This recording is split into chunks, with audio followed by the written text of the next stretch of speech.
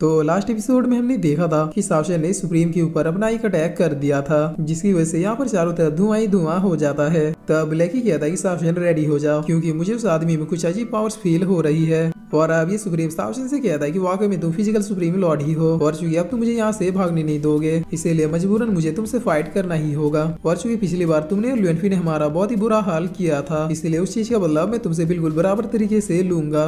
जिस पर सावशन कहता है की रियली क्या तुम्हें लगता है की तुम मुझे मार पाओगे क्योंकि अभी तो तुम खुद ही मुझसे बच के भाग रहे थे। तब ये सुप्रीम कहता है कि मैं तुमसे इसलिए भाग रहा था क्योंकि तब मुझे तुम्हारे पावर के लेवल का कोई आइडिया नहीं था। लेकिन जैसे ही तुमने मुझ पर अटैक किया तो मुझे पता चल गया कि तुम्हारी लेवल क्या है। और फिर ये सुप्रीम हँसते हुए कहता है कि मुझे नहीं पता कि तुम ज़िंदा कैसे बचे, मगर अब तुम वो वाले फ़िज़िकल सुप्रीम लॉर्ड नहीं रहे, जिसके बस नाम से पूरा नो और इलम काफा करता था। तुम्हारी करंट कल्टिवेशन अभी इतनी ज़्यादा वीक है कि तुम अपने मैक्सिमम पावर का भी यूज़ करके मेरे बॉडी के प्रोटेक्शन बेरियर को भी नहीं तोड़ पाओगे, जिस पर अब इतना सुंदर सावशन अपने सूट बूट में आ जाता है। तब ये सुप्रीम भी अपने और को बाहर निकालते हुए कहता है कि मैंने कभी सोचा नहीं था कि मैं फ़िज़िकल सुप्रीम लॉर्ड को फिर से अपने हाथों से मारूँगा, जिस पर सावशन इसके ऊपर सीधे एक अटैक करते हुए कहता है कि तुमको ज़्यादा ही बकवास करते हो। तब ये सुप्रीम भी एक अटैक को क्रिएट करते हुए कहता है कि सॉरी लेकिन आदत से मजबूर हूँ। और ये कहकर ये सुप्रीम सावशन के अटैक को बहुत ही आसानी से रोक लेता है। इसके साथ ही अपनी एक एनर्जी बबल में सावशन के पावर को स्टोर करते हुए कहता है की देखो तुम कितने ज़्यादा वीक हो चुके हो। क्या तुम्हें अभी भी लगता है की तुम वही सुप्रीम लॉर्ड हो, जिस पर सावशन अब सीधे हेवनली डेजर्ट फिस्ट के आठवें फॉर्म का यूज़ करता है, जो तुरंत ही सुप्रीम को खत्म करने के लिए बढ़ने लगता है।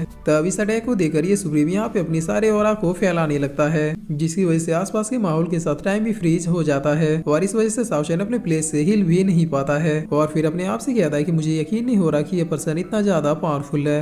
ये सुप्रीम भी अब सावशन को बिना कोई मौका दिए सीधे इसके पास आके इसकी बॉडी में एक अटैक कर देता है, जिसकी वजह से सावशन को अब बहुत ही ज़्यादा पेन होने लगता है। तब ये सुप्रीम कहता है की देखो, ये है मेरी पावर जो अब तुम्हारी बॉडी को बिल्कुल पूरी तरीके से डिस्ट्रॉय कर देगा, क्योंकि इस टेक्निक में मेरा यंग का पॉइजन है, जो तुमसे भी पावरफुल सुप्रीम को एक ही झटके में खत्म कर देता है। इसीलिए अब शांति से मर जाओ so called physical supreme lord जिस पर अभी सुप्रीम के इतना कहते ही हम देखते हैं कि सावशन अब पूरी तरीके से स्टोन का बन जाता है, और उसके बॉडी में दरारें भी आने लगती है। तब ये देखकर ये सुप्रीम बहुत ही ज़्यादा हँसते हुए कहता है कि फाइनली मैंने अपना रिवेंज कंप्लीट किया। मैंने most powerful physical supreme lord को अपने हाथों से मार दिया, जिस पर सावशन भी सच में कई टुकड़ों में बटके मर जाता है। तब ये सुप्रीम अब पागलों की तरह हँसते हुए कहता है की अब मुझे कोई भी नहीं रोक सकता, और अब मुझे भी पूरे नौ रिलम में किसी गॉड की तरह पूजा जाएगा, जिस पर तभी हम देखते हैं कि सावशन वापिस से रिबॉर्न हो जाता है। तब ये देखते ये सुप्रीम बहुत ही ज़्यादा शौक होती हुई कहता है की ये तो लाइफ और डेथ का टर्न है, जो सिर्फ़ लुएनफी ही यूज़ कर सकता है, जिस पर सावशन स्माइल करते हुए सीधी इसकी ओर झपट्टा मारता है।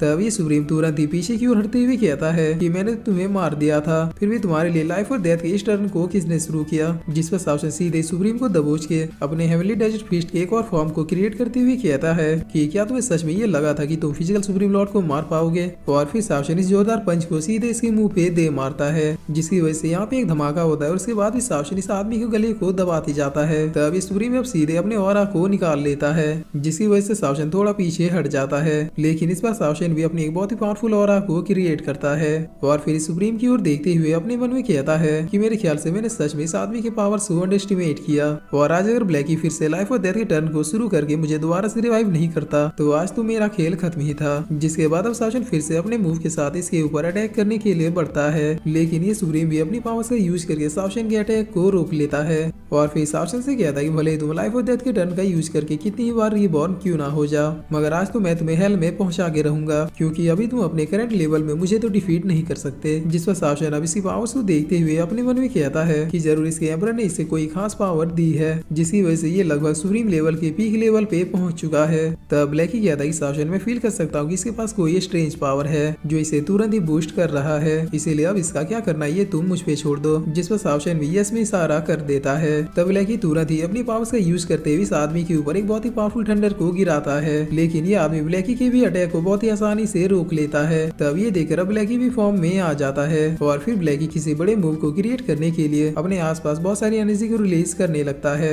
जिसे देखकर ये सुप्रीम अपने मन में कहता है कि ये डॉगी तो सावशन से भी ज़्यादा पावरफुल है। तब ब्लैकी सावशन से कहता है कि क्या तुम मेरे नए मूव को देखना चाहोगे? और इतना क्या कि ब्लैकी आसमान की ओर एक बहुत ही पावरफुल एनर्जी को रिलीज़ करता है, जिसकी वजह से अब यहाँ पे एक दूसरे डायमेंशन का गेट खुल जाता है, जिस पर अब ये सुप्रीम कहता है की आखिर ये क्या है? तब सावशन भी इस मूव को देखते हुए ब्लैकी से पूछता है की आखिर तुम ये क्या कर रहे हो? जिस पर ब्लैकी कहता है की सावशन ये है मेरी नई मूव जो मुझे ब्रेक थ्रू करने पे मिला था। और अब ब्लैकी कितना कहते हैं, हम देखते हैं कि इस पोर्टल से एक और बहुत ही powerful third eye wolf entry मारता है, जो देखने में ब्लैकी से भी ज़्यादा डेंजर लग रहा था।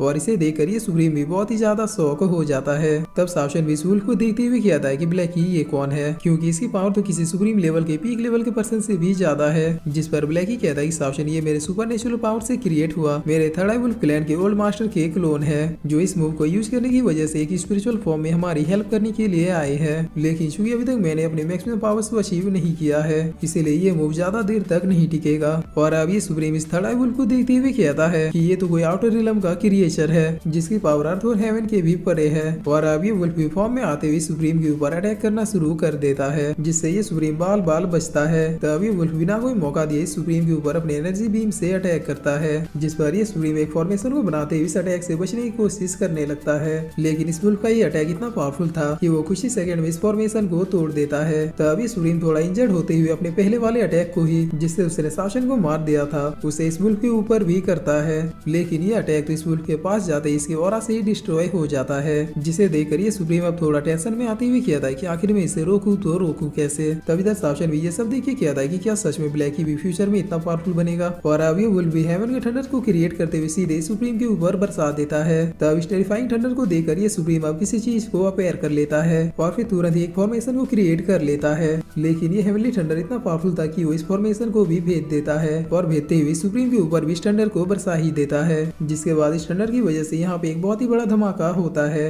तब इस ठंडर को देखते हुए शासन कहता है कि ब्लैक ऐसा ठंडर तो मैं अपने पीक लेवल को भी अचीव करने के बाद भी क्रिएट नहीं कर सकता, क्योंकि उस आदमी ने अभी जिस फॉर्मेशन को क्रिएट किया था, वो पूरे नौ रिलम का one of the best formation है, जिसे केवल पीक लेवल की सुप्रीम ही ब्रेक कर सकते हैं। जिस पर अभी इधर हम सुप्रीम को देखते हैं, जो कि इस की वजह से चित हो गया था। और फिर सुप्रीम किसी तरह से उठते हुए कहता कि आज चाहे जो भी हो जाए, लेकिन मैं तुमसे नहीं हारूँगा। तब शासन कहता कि बस एक और ठंडर बरसाने की देरी है, उसके बाद तुम मिलजुल राख बन के यहाँ से उड़ जाओगे। जिस पर ये सुप्रीम कहता है शासन भले ही तुम किसी भी टाइप की ट्रिक का यूज़ क्यों ना कर लो? लेकिन मैंने कहा ना कि तुम मुझे डिफीट नहीं कर पाओगे। और ये कहकर ये फिर से उसी मैजिक वेपन का यूज़ करते हुए, यहाँ पर फिर से एक बहुत ही बड़ी एनर्जी को क्रिएट करने लगता है, जिसके प्रेशर को फील करते हुए ब्लैक ही पूछता है कि शासन ये क्या है। तब शासन कहता है कि मेरे ख्याल से अर्थ और हेवन का कोई मैजिक वेपन है, जिस पर ये सुप्रीम बताता है की दरअसल ये हंड्रेड मैजिक वेपन में से एक है, जिन्हें अर्थ और हेवन की पावर को मिला के एंशियंट टाइम में बनाया गया था। और इसे मुझे खुद एम्पर ने गिफ्ट किया है, ताकि अगर कभी लुएनफी मेरे सामने अचानक आ जाए तो मैं इसकी हेल्प से उसे रोक सकूँ और अब ब्लैकी के कहे अनुसार ये वुल भी यहाँ से डिसअपेयर हो जाता है, जिस पर अब ये सुप्रीम कहता है कि सावशन मैं जानता हूँ कि तुम्हें मारना इतना भी ज़्यादा आसान नहीं होगा, लेकिन तुम मेरे एम्पर के पावर के आगे कुछ भी नहीं हो, इसीलिए अब शांति से खत्म हो जाओ। और ये कह के सुप्रीम सावशन के ऊपर एक और अटैक को कर देता है, जिसकी वजह से इससे पहले कि सावशन कुछ समझ पाता, उसके ऊपर एक बहुत ही पावरफुल एनर्जी गिरती है और फिर से चारों तरफ़ धुआँ धुआँ हो जाता है, जिस पर अभी सुप्रीम कहता है कि फाइनली तुम खत्म हुए। तब सावशन धुएँ के बीच से कहता है कि इतनी भी क्या जल्दी है। मैं तो अभी तक तुमसे ठीक से? खेला भी नहीं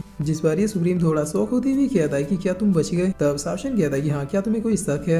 जिस पर ये सुप्रीम कहता है कि मैं अभी भी तुमसे नहीं डरता, क्योंकि तुम्हें खत्म करने का मेरे पास एक और तरीका है। और ये कहकर ये सुप्रीम अब अपने मार्शल सोल को बाहर निकाल लेता है। और फिर सावशन से कहता है कि देखो, ये है मेरी ट्रू पावर जिसके बाद ये सुप्रीम अपने एक पाल मटे को सावशन के ऊपर करते हुए कहता है की चलो आ जाओ, मैं भी देखता हूँ की आखिर तुम में कितना दम है। तब इतना सुंदर सावशन अब फॉर्म में आते हुए कहता है कि चलो, मैं तुम्हें तुम्हारी औकात दिखाता हूँ। और ये कहकर सावशन भी अब अपने मैक्सिमम पावर्स को अपेयर कर लेता है, जिसके बाद वो इस सुप्रीम की ओर बढ़ते हुए कहता है कि चलो बताओ आखिर तुम किस तरह से मरना चाहोगे। तब इस पावर को देख के ये सुप्रीम कहता है कि ये तो टाइटन्स की पावर है। इसका मतलब क्या? तुमने टाइटन्स की भी पावर्स को अचीव कर लिया है। जिस पर सावशन कहता है कि ये बस टाइटन की पावर नहीं है। लेकिन ये क्या? इसे तुम खुद ही फील करो। और इतना कहकर सावशन अपने एक बहुत ही पावरफुल अटैक को इसके ऊपर कर देता है, जिसकी वजह से अब इस मैजिक वेपन की भी पावर खत्म हो जाती है, तब ये सुप्रीम कहता है कि नहीं, ऐसा नहीं हो सकता। जिस पर सावशन एक स्माइल देते हुए कहता है कि बड़ी, ये तो हो चुका है। और फिर सावजन सुप्रीम के ऊपर अपने हेवनली डेजर्ट फिस्ट के ग्रेविटी प्रेशर को बरसाना शुरू कर देता है, जिसकी वजह से ये सुप्रीम अब खड़ा भी नहीं हो पाता है। तब सावजन बहुत ही प्यार से इसके फेस पे एक और पंच मारता है, जिसकी वजह से इसका पूरा जबड़ा ही हिल जाता है।